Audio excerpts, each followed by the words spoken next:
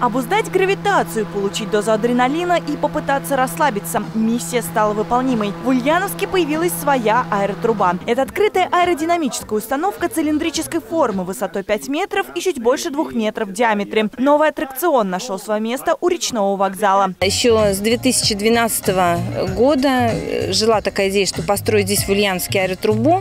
Э, Я серьезно ездила по другим регионам, когда еще только начинались на заре создания аэротруб в России. Самое ценное в установке – это вентилятор, который генерирует воздушный поток со скоростью почти 240 км в час. Нагнетаемый воздух в одно мгновение может поднять до 120 килограммов. Шум установки равен реву реактивного двигателя самолета.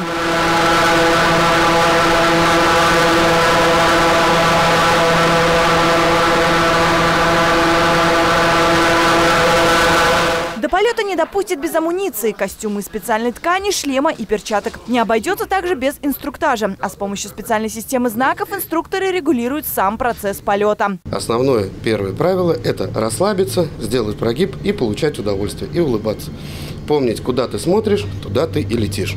Полеты коммерческие, но это не исключает социальную спортивную сторону бизнеса. Аэротруба всегда в почете у парашютистов для отработки полета в свободном падении. Установка имеет ценность и для детей. Полеты позволяют развивать координацию. Наслаждаться свободным полетом смогут и ребята с ДЦП. Нахождение в аэротрубе помогает активировать центр мозга. Плюс это пространство свободное от ограничений, где стираются рамки отличия от других детей.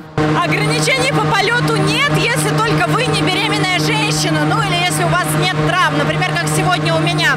Поэтому, к сожалению или к счастью, я не буду испытывать на себе все прелести аэротрубы, поэтому остается поверить на слово, что ощущения действительно интересные. Кстати, две минуты в аэротрубе заменяют один час в фитнес-зале. А вот наши коллеги по цеху воспользовались случаем и не скупились на эмоции. Я летал до этого только на самолете, а тут сам, как птица. Очень большой воробей. Я самый большой воробей в мире. Адреналин бомбит, притом это понимание приходит только когда ты уже спускаешься оттуда.